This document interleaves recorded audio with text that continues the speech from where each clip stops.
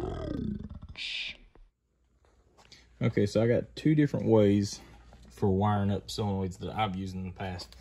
Uh, I think it's your two most common ones anyway.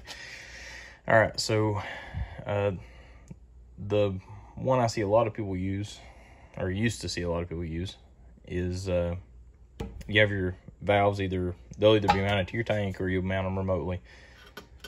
The ground wire will go directly back to, in this case, it's going to uh, frame ground.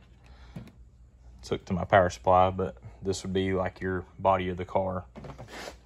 And then your power is going into the power side of your switches. And out of that wire back to the red off of uh, one of the switches here, which happens to be this one.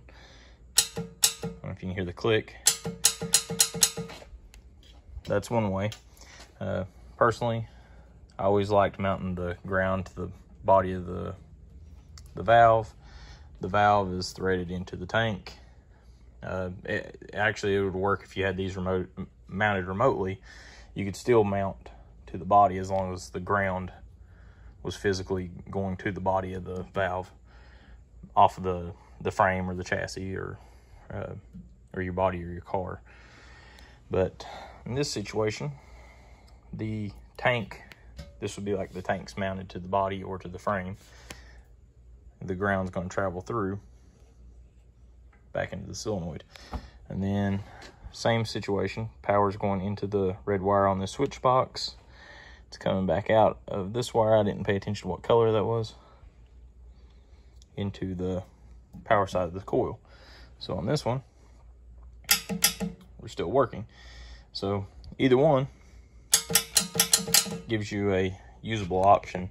It's uh, it's really all just personal preference, whichever one suits your build or your uh, scenario the best. This is just an old uh, junk tank that was laying out in the yard, so don't uh, don't pay no mind to the little bit of rust. I just wanted to use it for the video as a representation.